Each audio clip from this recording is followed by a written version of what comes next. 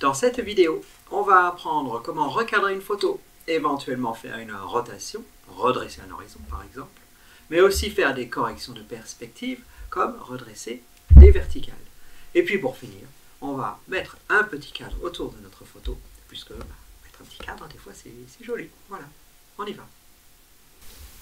La première chose que je voudrais préciser, c'est que euh, la version de Darktable que j'utilise aujourd'hui est une version 3.5 euh, expérimentale. Euh, donc la version, une nouvelle version va sortir d'ici une semaine. Donc voilà, je pense pas qu'il y ait énormément de, de, différence entre les deux. Et puis même si on en trouve des petites, voilà, cette différence sera bientôt gommée. Prenons la petite abeille et prenons un premier module que je voudrais vous montrer aujourd'hui, c'est celle des corrections d'objectifs. Donc je suis ici hein, dans le flux de travail relatif à la scène. Et euh, donc vous voyez, on a énormément de modules, euh, dont certains on a déjà vu, certains qui sont euh, bah, un petit peu inutiles pour moi, en tout cas je ne les utilise pas. Vous savez que dans Darktable, chaque utilisateur va faire sien euh, peut-être une dizaine de modules, une quinzaine au maximum. Euh, on ne peut pas tout savoir, tout utiliser, enfin pas avant un, bon bout de temps en tout cas. Donc correction automatique. Donc si vous avez un... Ici par exemple je suis sur un objectif qui est un, un Laowa qui est manuel. Si je clique sur correction d'objectif ici, il ne va pas se passer grand chose puisque visiblement le profil euh, n'a pas été trouvé. Boîtier objectif introuvable. Si je vais euh, dans cette photo du chien, ici on voit euh, donc le couple boîtier objectif a été trouvé. Donc si je clique sur correction d'objectif, voilà, je vais avoir une correction de la déformation et du vignettage qui va se faire. Donc ça, voilà, ça c'est pratique. deuxième petite chose, juste en dessous, la réduction du bruit. Euh, donc ça, si je clique dessus, il y a euh, une réduction du bruit automatique qui va se faire, qui est profilée. Regardez, si je clique dessus, il me dit qu'il a trouvé un profil pour ISO 2500. Euh, donc ça c'est bien, comme ça c'est tout fait, c'est tout automatique par rapport à mon boîtier. Je trouve cependant que c'est un petit peu fort très souvent. Mais euh, ça, c'est moi. Le, bruit, ça me dérange pas tellement, tellement. Si je, zoome ici à 100%, voilà, je vais enlever. Là, on voit certainement euh, du bruit chromatique. Hein, on voit des petits points de couleur. Je l'enlève et je perds forcément un petit peu d'impression de, netteté aussi. Donc, ce que je vais faire ici, euh, là c'était déjà fait en fait, c'est je vais ici sur le, le cercle, un masque uniforme et je vais baisser l'opacité du masque. Donc c'est un masque qui s'applique sur toute l'image euh, de manière uniforme donc et euh, je peux juste baisser l'opacité en fait de ce masque qui va réduire l'effet du module. Ici le module ne s'applique pas du tout. À 100% il s'applique à 100%. Et en fait je vais juste chercher le point où je commence à voir un petit peu le grain. Donc euh, voilà à peu près là. Et quand je le vois un petit peu, voilà, je laisse Là, il ne faut pas oublier, ici, ce que je regarde, c'est un écran 27 pouces à 100%. Donc, euh, je suis ridiculement près de ma photo. Donc, si je vois un tout petit peu de grain sur ma photo, c'est bien. Si je faisais un tirage ou si j'exporte ça pour un réseau social quelconque, euh, je vous promets, on voit rien. Voilà, je reviens. Donc ici, deux petits modules vite fait, bien fait, réduction du bruit, que je ne fais hein, que sur les, photos qui ont... Euh, qui sont montés en ISO en dessous de, 1250, 2000 ISO. Je, généralement, je fais même pas de réduction de bruit du tout. Correction des objectifs, euh, c'est vite fait, c'est pratique. Euh, voilà. On va euh, voir un petit peu comment recadrer maintenant une image. Donc, recadrer, je vais trouver ça ici dans cet onglet base, recadrer, donc j'en ai deux, j'ai recadré, recadré et pivoté. Les deux font la même chose euh, avec euh, bah, le deuxième qui peut permettre des rotations en plus. Donc ici je vais choisir ça. Quand je clique dessus, ici j'ai donc euh, ce qu'on appelle les règles des. Donc l'image est coupée en trois horizontalement, verticalement. Et pour recadrer, bah, ça se fait directement en fait sur l'écran. Voilà, si je vais dans le coin, voilà, je vois mon curseur qui change ou sur les côtés. Généralement, je vais aller dans un coin par exemple et je clique et je reste appuyé. Et lorsque je fais ça, j'ai la résolution de l'image qui apparaît au centre. ici, au centre, si je clique quelque part, voilà, ça apparaît. Et euh, c'est au moment où ça apparaît que je peux commencer à, tout en restant appuyé, à déplacer. Voilà, et je peux recadrer librement, ce que je ne fais euh, quasiment jamais. Euh, ce que j'aime bien, alors l'aspect, ici vous voyez c'est marqué libre ici à droite, je vais garder l'aspect de l'image. Donc ici, quand je recadre, euh, je vais garder le ratio longueur-largeur et je peux recadrer un petit peu. Si je clique en plein milieu d'un des côtés, je vais déplacer, euh, je vais modifier la longueur et la largeur en même temps et laisser en fait le côté opposé fixe. Voilà, ou si je clique à droite, le côté gauche va rester fixe. Voilà. Et si je clique quelque part au milieu, je peux déplacer mon cadre. Voilà, tout ça, en somme tout, c'est assez classique. Euh, voilà, je peux recadrer ça. Bon, il y a des petites options ici. Euh, je peux euh, modifier ce que je vois. En fait, au lieu d'avoir la règle des tiers, je vais avoir une grille avec autant de, lignes verticales et horizontales que je veux. Je peux avoir une perspective. bon, voilà, vous avez le nombre d'or avec voilà, une spirale, des sections. Euh, vous pouvez explorer ça euh, comme vous voulez. Euh, je peux aussi faire une modification de perspective dans ce module-là, mais c'est pas là que je le fais. Voilà. Donc je reviens à ce que j'ai d'habitude. Je fais très souvent la règle des tiers parce que je suis habitué et ça me gêne pas. Voilà, cette grille ne me gêne pas. si elle me gênait, je l'enlèverais complètement. Voilà, donc je, recadre mon image et je peux aussi la pivoter, donc faire une rotation, ce qui n'est peut-être pas euh, essentiel dans cette image-là. On va voir ça dans une autre. Euh, voilà, par exemple, euh, voilà, donc quand je clique, voilà, la vue s'est remise en plein écran. regardez. Euh, sur mon image de l'océan, voilà, qui paraît à peu près euh, à peu près horizontale. Euh, vous savez très bien, dans les photos de paysage, on aime bien quand même que l'horizon soit horizontal. Donc l'outil ici que je vais pouvoir utiliser, c'est la rotation. Donc soit je clique sur le curseur et je vais y aller à droite, à gauche, mais ça c'est très violent.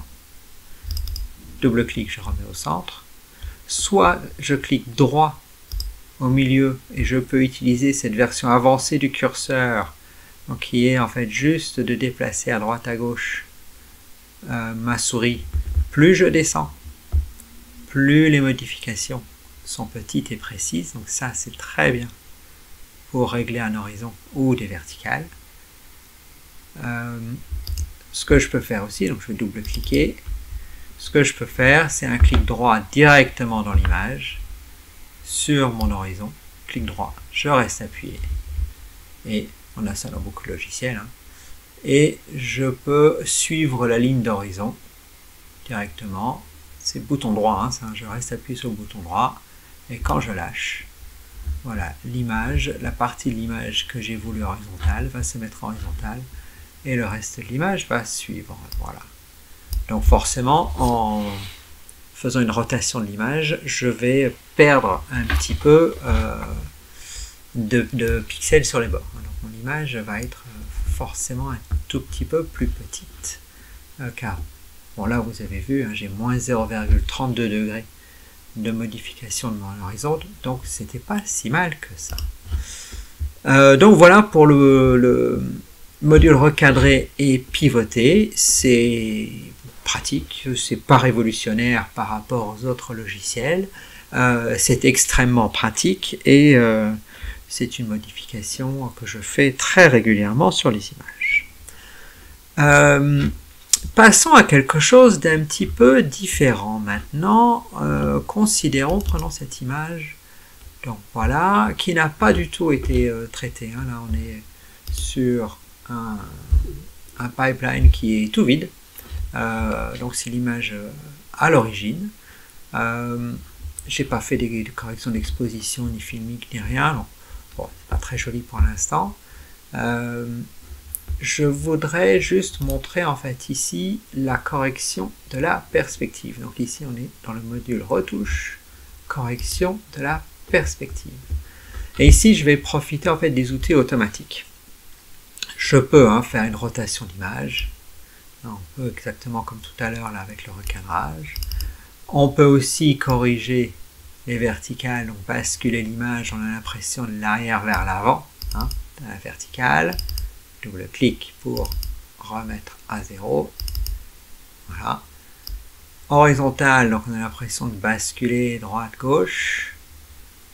Euh, là, je pardon, je vais changer. Droite, gauche, droite, gauche. Voilà.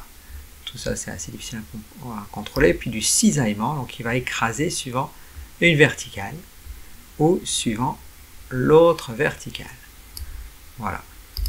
Bon, tout ça, très difficile à faire manuellement, mais heureusement, on a des outils automatiques qui sont assez fantastiques dans ce module c'est euh, ici. Je vais regarder un petit peu la structure. Donc ici, on a une, icône qui va analyser les lignes de structure dans l'image. Donc je clique dessus et va me montrer euh, en vert les lignes qu'il pense être des verticales et en bleu des lignes qu'il pense être euh, horizontales. J'ai aussi des lignes jaunes et rouges qui sont euh, respectivement euh, horizontales aussi et verticales.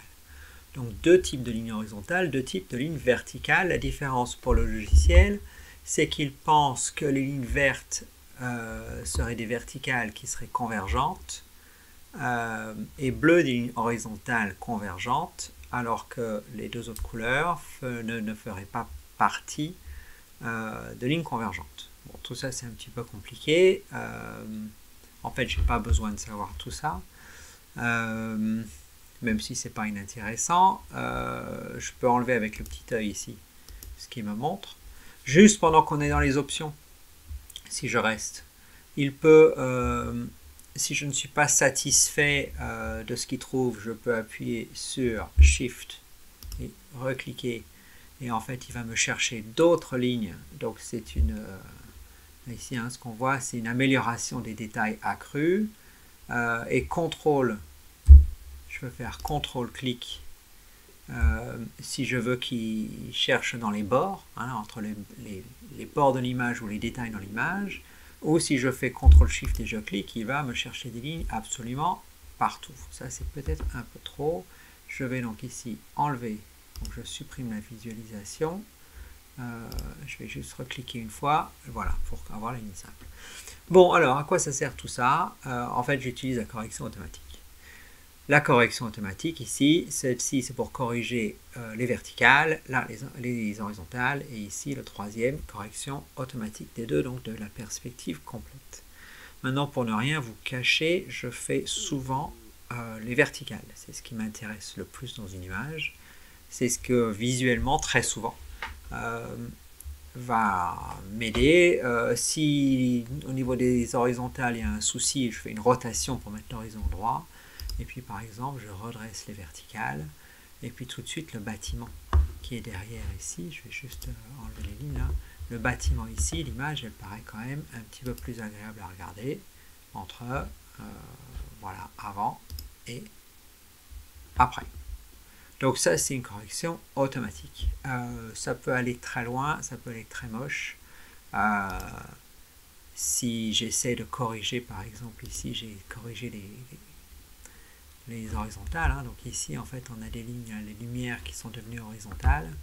Euh, si j'essaie de tout corriger, voilà, je peux très bien garder ça si je veux. Maintenant, ça me paraît quand même très déformé. Je reclique ici en haut pour réinitialiser le module ce, que je trouve intéressant ici, c'est juste de redresser rapidement. C'est un clic dans le module pour redresser les verticales. Euh, voilà, puis je regarde si c'est bien, si ça me convient ou pas. Ce qui est intéressant, ici maintenant, donc j'ai des parties noires hein, autour de l'image, puisqu'elle a été, euh, elle a été modifiée. Euh, on a une option de recadrage ici, où je peux soit prendre le plus grand côté, donc c'est-à-dire prendre la, zone la plus grande dans l'image sans les bords noirs, soit je peux demander à conserver le format d'origine de la photo.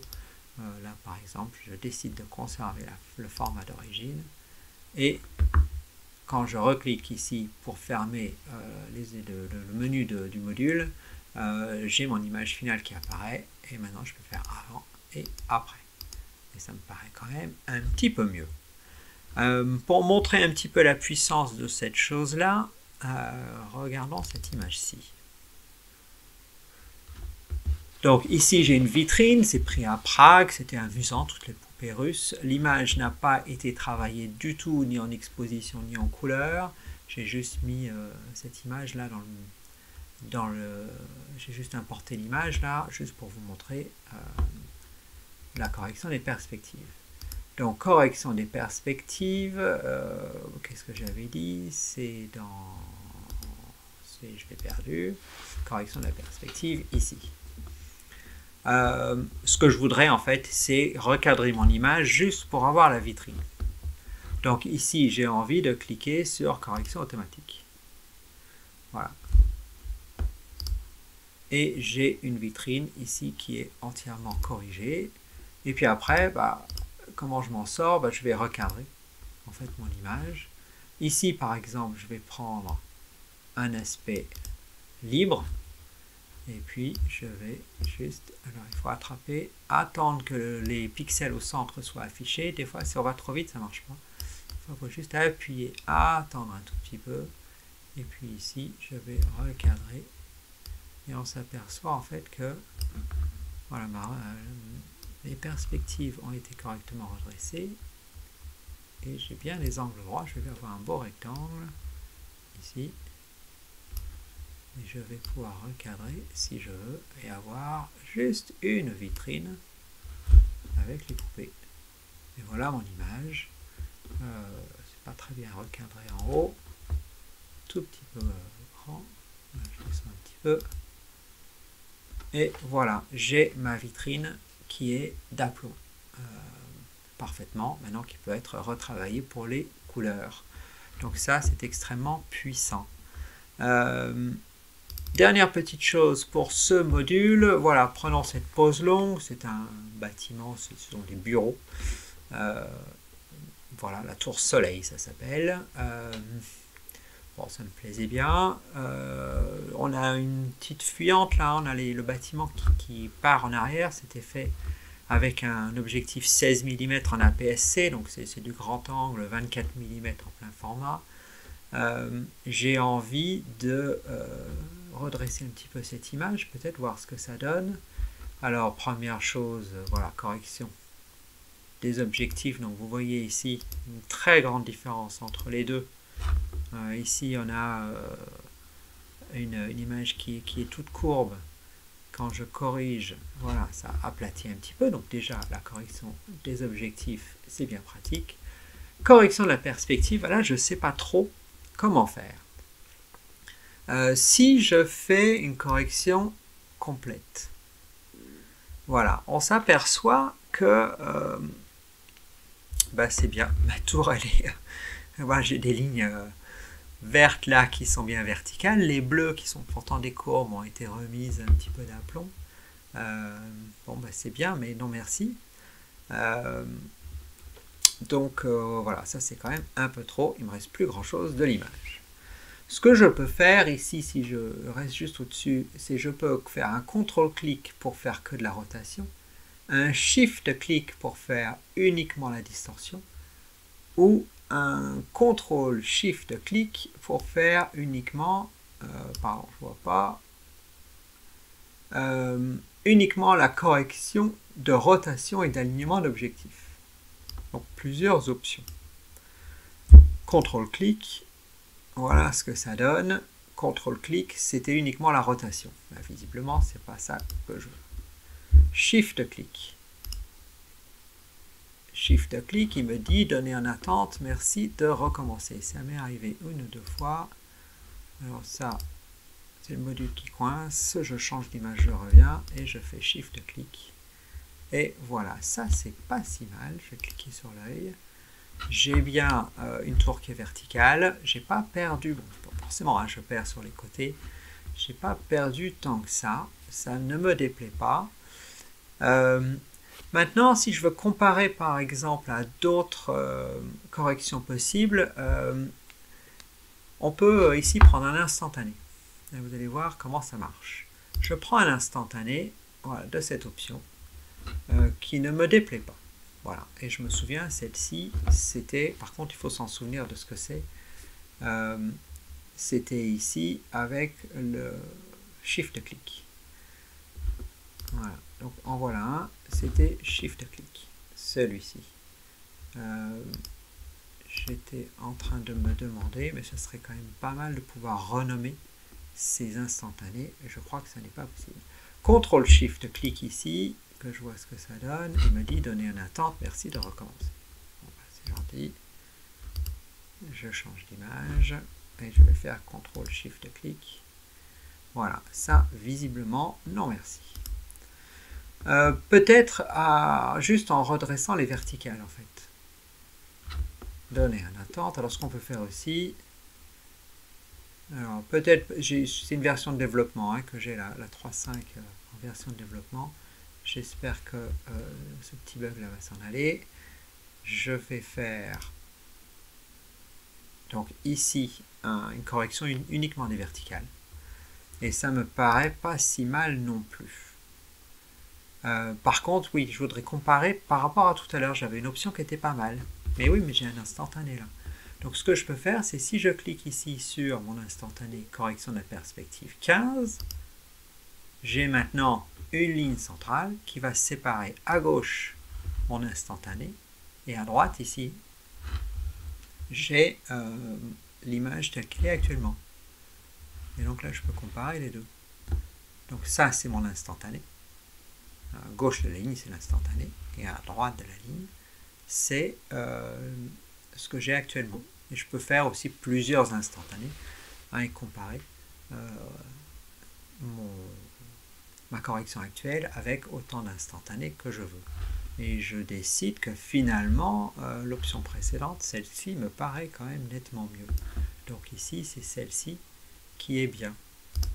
Donc je reclique dessus, et je sais que c'est celle-ci qui était bien quand j'avais fait Shift-Click. Voilà, je retrouve. Euh, voilà, donc c'est mieux.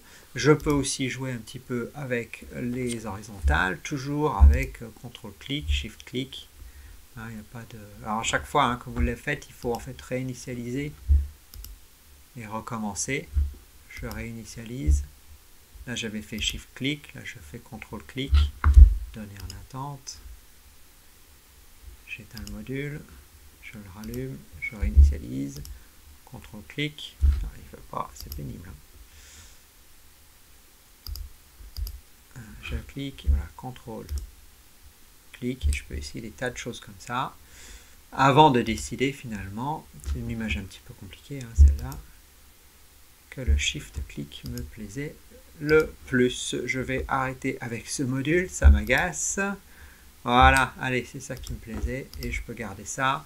Et je peux forcément hein, ici recadrer avec euh, par exemple le plus grand côté. Donc voilà ce qui me reste au maximum de l'image. Donc voilà, euh, et j'ai à travailler maintenant euh, l'image en couleur et en luminosité, en contraste bien sûr. Donc passons au dernier module. Ce dernier module, c'est un cadre, non pas un recadrage, mais un cadre, ce qu'ils appellent le cadre décoratif. Alors le cadre décoratif, ici je suis dans les effets, le cadre décoratif, le voilà, qui va, ah, je vais l'allumer, on va voir tout de suite ce que ça fait, ça rajoute un cadre.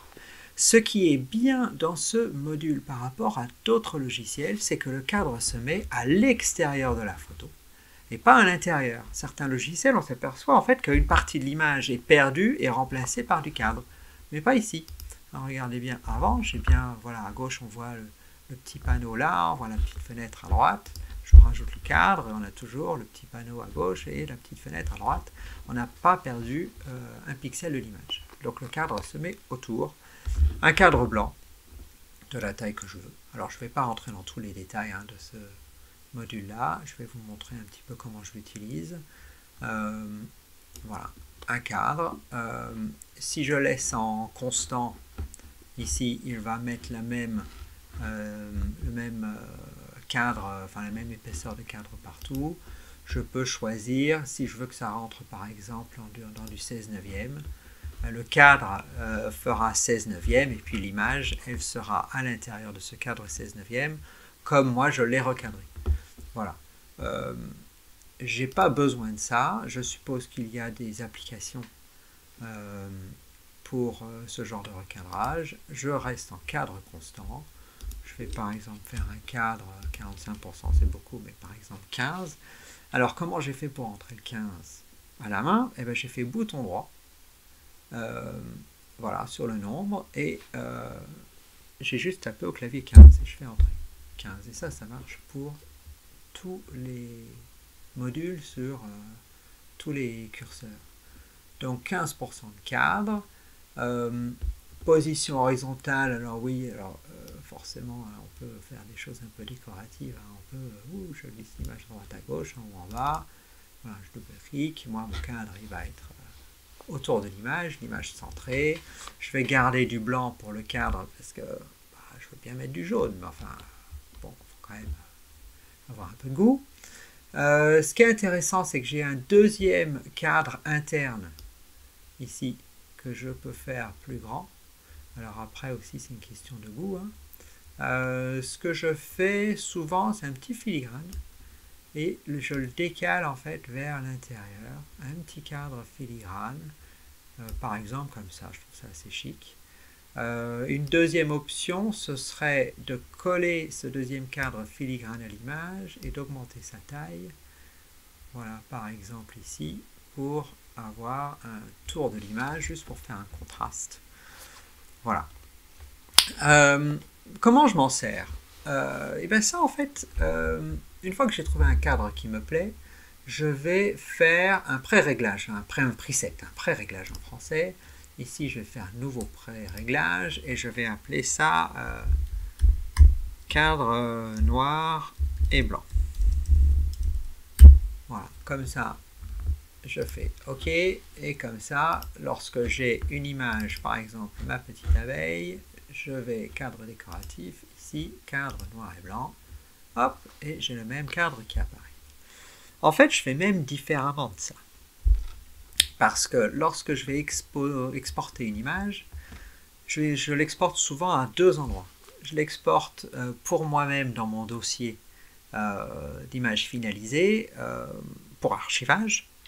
Et puis très souvent, des images, je les exporte aussi pour les mettre sur des réseaux sociaux, les partager, euh, voilà, que ce soit sur Instagram, Facebook ou euh, voilà, Discord avec les, amis du club photo, euh, voilà. si c'est pour l'archivage, j'ai pas besoin de cadre. Mais si c'est pour mettre sur un réseau social, pourquoi pas? Alors du coup, une petite astuce. Je vais garder ce cadre et je vais utiliser quelque chose dans Darktable qui s'appelle les styles.